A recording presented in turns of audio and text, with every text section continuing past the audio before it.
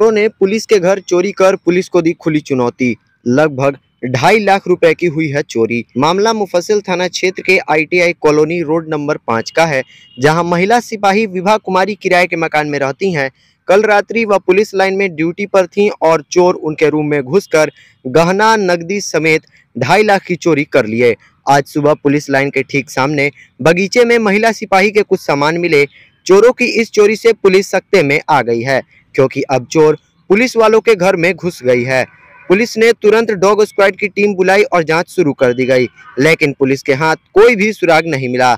इस घटना से शहर के लोगों में दहशत का माहौल है।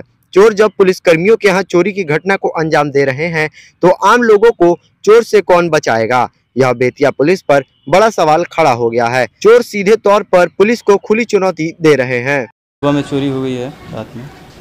क्या चोरी? एक ऊपर में बिहार पुलिस रहती थी कांस्टेबल थी उन्हीं का सामान चोरी हो गई है। गहना कपड़ा बैग और बेडशीट सामान बहुत सारे सामान था जो कि चोरी हो गई है। लगभग कितने का? लगभग? लगभग ढाई लाख का। हाँ, हम मकान मालिक हैं। कहाँ पे पदस्थापित है मैंने अभी पुलिस लाइन में हैं रिज़र्व गार्ड में। विभा कुमारी। आपका नाम? हमारा नाम राहुल तिवारी।